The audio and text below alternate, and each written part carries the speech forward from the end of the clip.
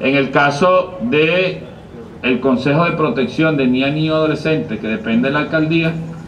se han suspendido todos los permisos para menores de edad, para niños, niñas, adolescentes, a los, a los estados que han sido decretados en cuarentena. Están suspendidos temporalmente eh, estos permisos, igualmente han sido suspendidos los permisos para los países eh, donde se ha limitado los vuelos por parte del Ejecutivo Nacional. Están suspendidos. Eh, igualmente hemos establecido un plan de contingencia, un plan especial por parte de la MTT y el director del terminal en este centro, debido a la gran presencia, o la importante presencia de personas que salen y llegan a nuestro municipio. Hemos también, quiero informar, suspendido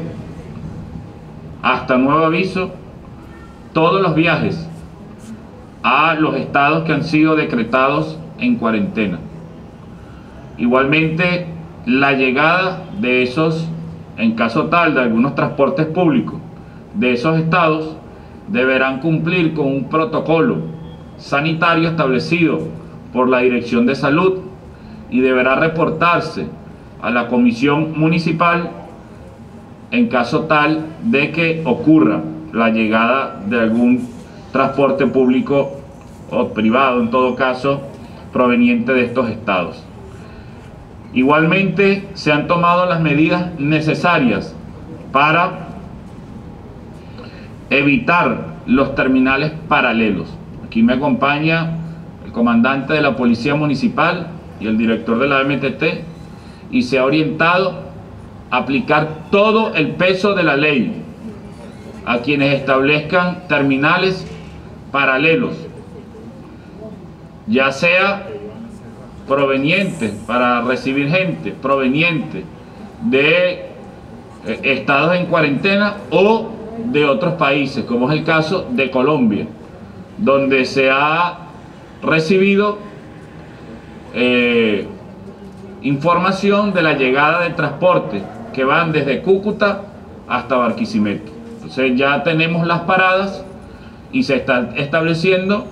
primero está prohibido, en este momento está prohibido la llegada de esos buses y en caso tal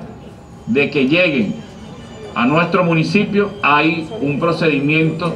para garantizar la cuarentena de las personas que asistan y además serán sancionados los transportistas con la retención de sus vehículos y con la aplicación de multas significativas